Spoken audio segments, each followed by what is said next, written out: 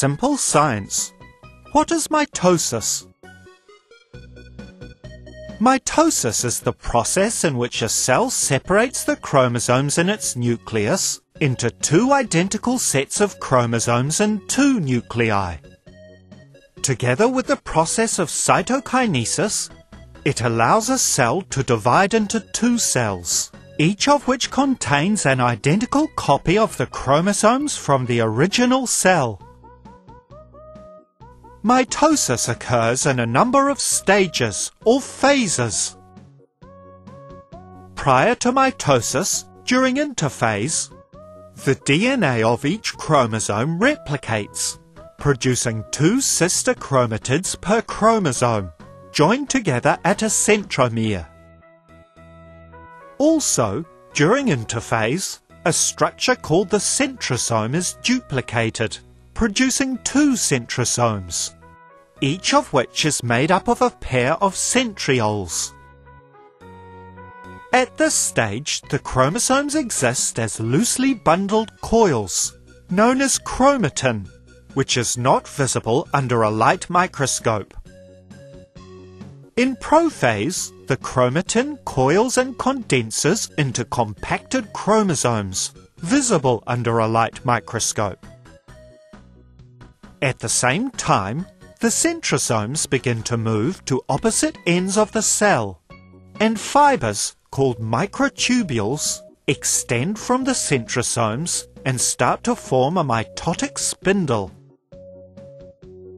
In prometaphase, the nuclear envelope dissolves. Proteins attach to sister chromatids at the centromere of each chromosome forming a pair of kinetochores to which microtubules attach. In metaphase, a tug of war between the spindle fibers pulls the chromosomes until their centromeres line up together along a central equatorial plane through the cell, called the metaphase plate. In anaphase, microtubules attached to the kinetochores shorten, pulling the sister chromatids to which they are attached apart. These sister chromatids are now considered to be distinct sister chromosomes.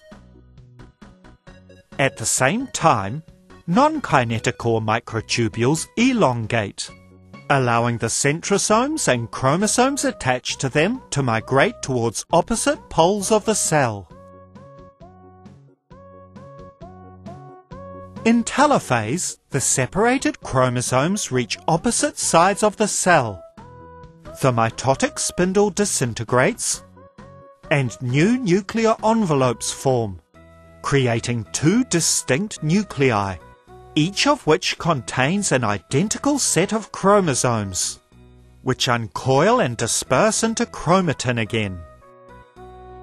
At the same time, the process of cytokinesis occurs in which the cell is pinched in two by a contractile ring that forms around the center of the cell, forming two distinct cells, each of which now contains its own nucleus.